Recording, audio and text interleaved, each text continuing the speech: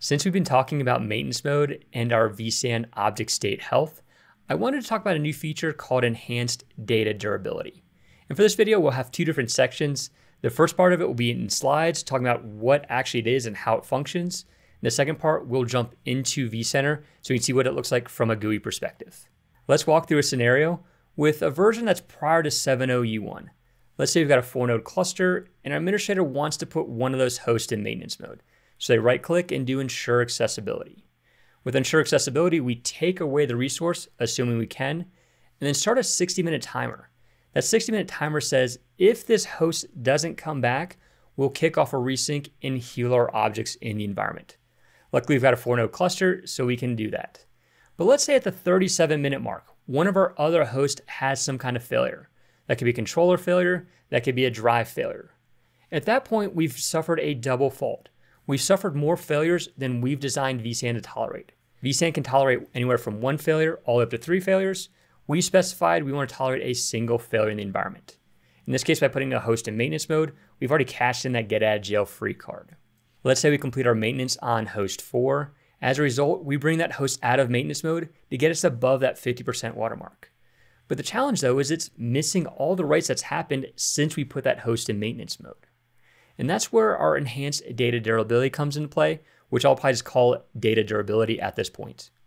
Let's walk through that scenario again, but let's say we've got a 7.0U2 environment. And so taking a step back, in 7.0U1, we initially introduced this feature for planned maintenances. And a planned maintenance would be putting a host in maintenance mode.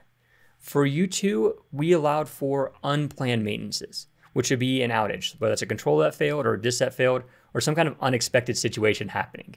So let's say we've got a 7.0U2 environment, our administrator comes along, puts our host in maintenance mode with ensure accessibility.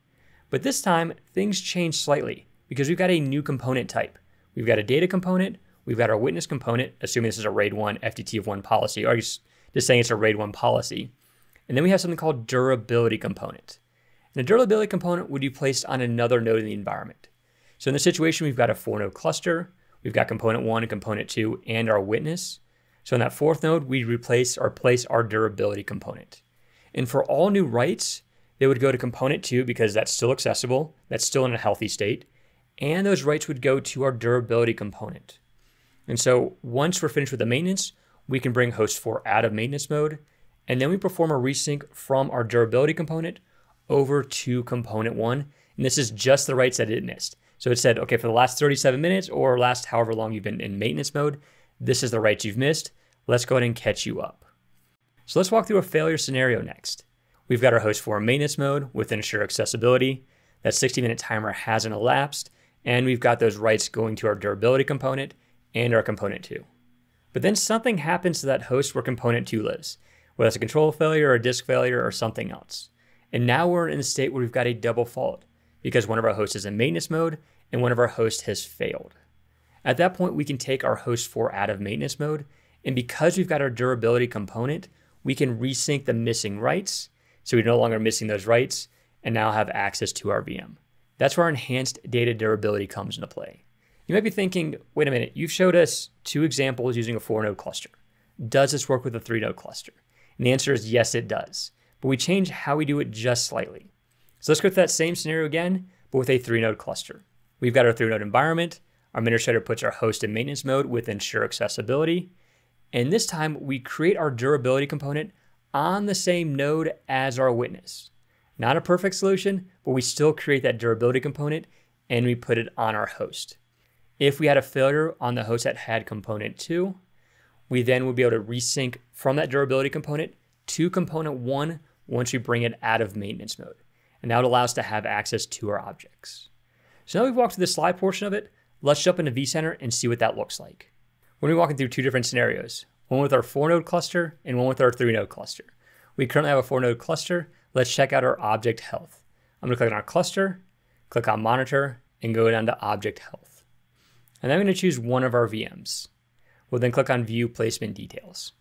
We can see we're using a RAID 1 policy and we can see where our components are located along with our witness component. Let's go and put one of our hosts in maintenance mode. We're going to use the ensure accessibility option. Now that our host is in maintenance mode, we'll click on the refresh button and we can see that our object states have changed. They're now reduced availability with that rebuild delay timer. So after that 60 minute timer elapses, we'll kick off a resync. We'll choose one of our VMs and click on View Placement Details. We can now see we've got a different section. We've got our durability component. Now we've gone through a four node scenario, I'm gonna take one of our hosts out of the vSAN cluster and walk through this with a three node cluster. Let's go back to virtual objects and see what does the health of our objects look like. We can see we currently got a RAID 1 policy and they're all in a healthy state. Let's go and place one of our nodes in maintenance mode. Now that our host is in maintenance mode, let's click on the refresh button and let's take a look at one of our VMs. We can now see we've created a durability component on another one of our hosts. At this point, I think we're at a good place to wrap up this video. We talked about our enhanced data durability, initially introduced with 7.0U1 for planned outages, and then improved for 7.0U2 for unplanned outages. And that's when we put our host in maintenance mode, create that durability component, capturing all the new writes, and then syncing to that component when it comes out of maintenance mode. I hope you found this video informative. I'd like to thank you for watching.